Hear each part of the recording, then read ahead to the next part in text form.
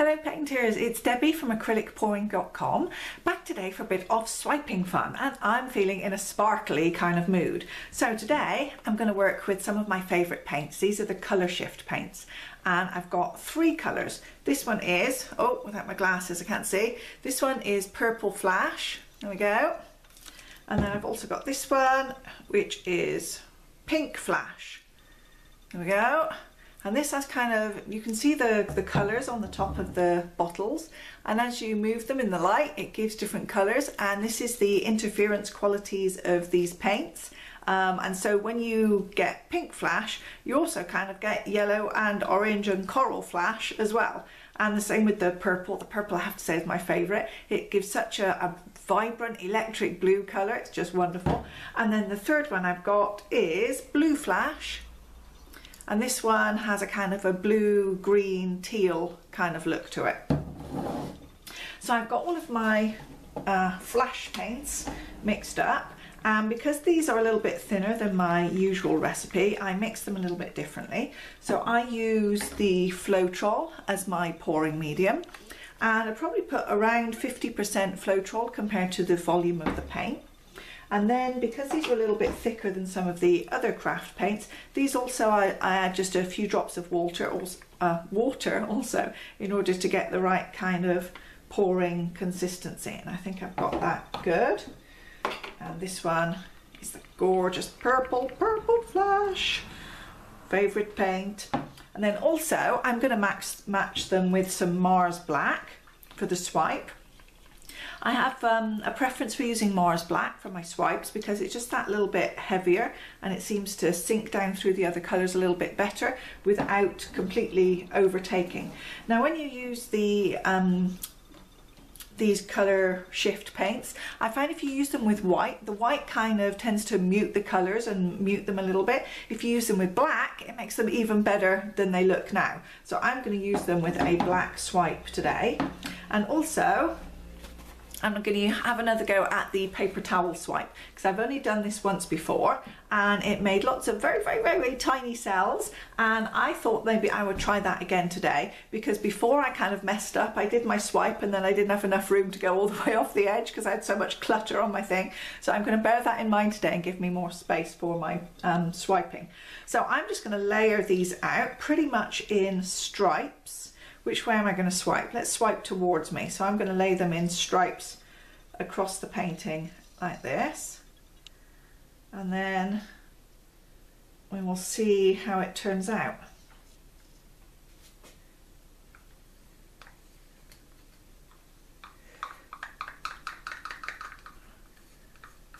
So unfortunately I can't get these um, flash these colour shift paints here on the island. So these are just ones that I brought back from a, a, trip to the US when I went to a conference and they're like my special paints. You know, the, the ones that I don't want to, to use up because they're so good and I know that I can't replace them.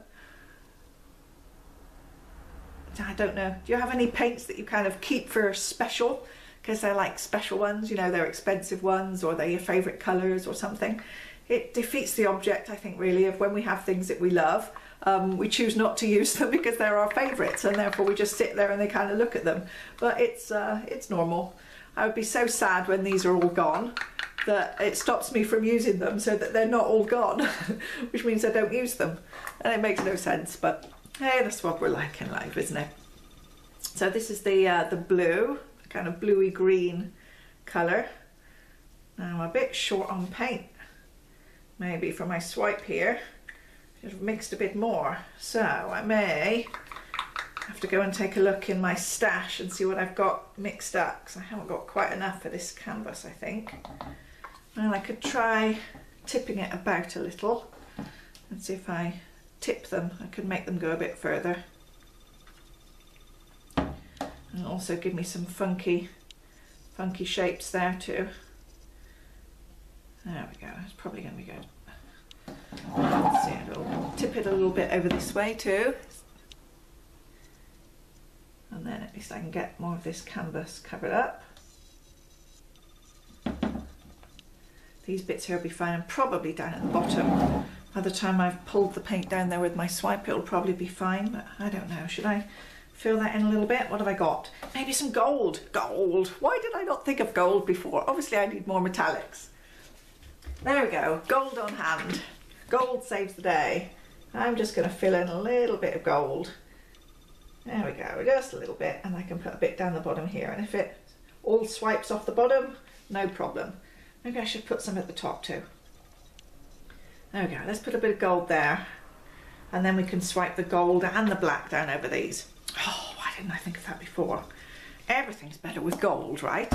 So where's my swipey tool? Oh, I'm going to use the paper towel, aren't I? Okay, so let's get my towel ready.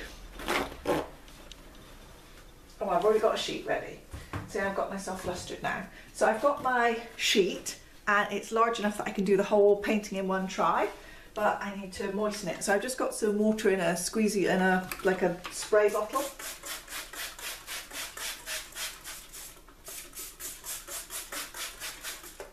So I'm just going to moisten that and leave it to sit for a little bit while I pour my black here across the top.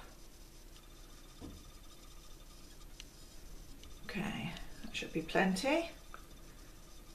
More than plenty. Oh, black seems to go everywhere, doesn't it? So much more so than white paint. Okay, so here we go.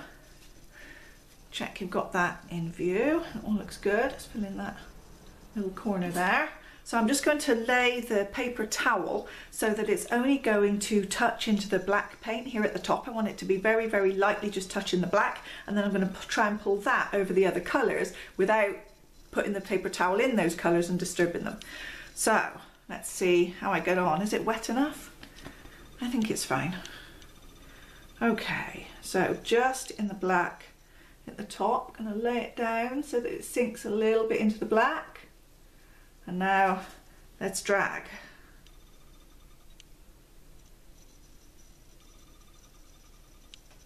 And this time I was able to get my drag all the way to the bottom because I didn't have stuff in the way. Oh, oh my goodness, oh my goodness. That is so amazing. That is so gorgeous. The colours are fabulous. I know they look great now. They're going to look even better when this is dry because all of the sparkliness will come through from them. So I've got a little, couple of little bits up at the top. I just want to dab a little bit of black paint now where it's a little bit thin.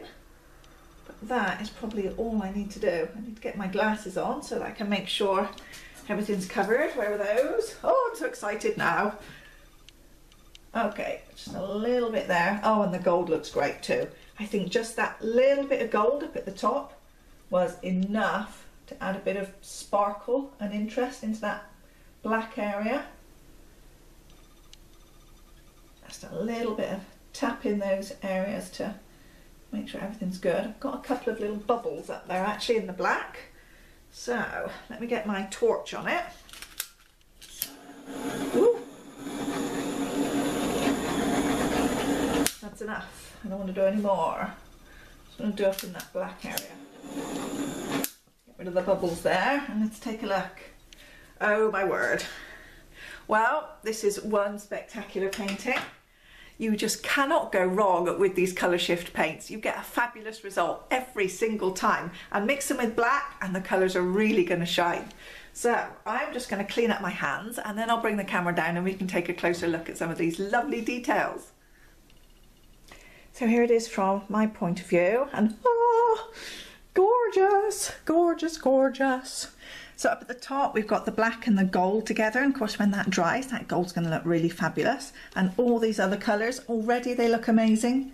Absolutely fabulous with black, really, really good. But of course, when it's dry, it's gonna look even more amazing. And I think I made the right choice. It's just a few little accents of gold here and there, and a nice little section down at the bottom. That looks good. That blue and gold looks really great together. And look how it's all dribbling down off the bottom of my swipe. I love it when it does that. And the sides look good. Yeah, look, look how it's gone over the sides. Very, very nice. Wow. Okay, so this may go to the top of the charts as one of my favourite paintings so far. And of course it's going to look even more spectacular, I'm sure, when it's dry because of all the sparkles. So hang around and I'll show you what it looks like. Well, here it is dry, and I have to say, I am so darn excited about this painting. The colours are just exceptional. You really cannot go wrong with these colour shift paints. And it's hard to pick it up sometimes in the camera, and especially with the, the lights and the and the glossy finish that I've got on it. But the colours in the centre, the um, this these patches here are the blue green, and as they shift around, you get the change of colour. And then the other patches here, here, and here are the purple and those go like, oh look, I think they can see a really electric blue. So as you turn it in, oh look, the lights are so difficult. As you turn it in different directions, you get all these different colours and then it's got the gold and everything in here. This is such a gorgeous painting. So I am going to be really sorry to let this one go, but my New Year's resolution for this year is uh, to try and do my best to sell as many paintings as I can and uh, get more money for my um, painting expenses. So this one will definitely be going in my Etsy shop, even though I'd be sorry to, to see it be go because the colours are so, so good. So if you'd like to give it a try, get yourself some of these gorgeous colour shift paints. There'll be some links underneath the video or in the blog article, depending on where you're watching. And uh, give it a try with the paper towel swiping as well, because that can give some really nice results. Thanks very much again for watching. See you at acrylicpouring.com again very soon.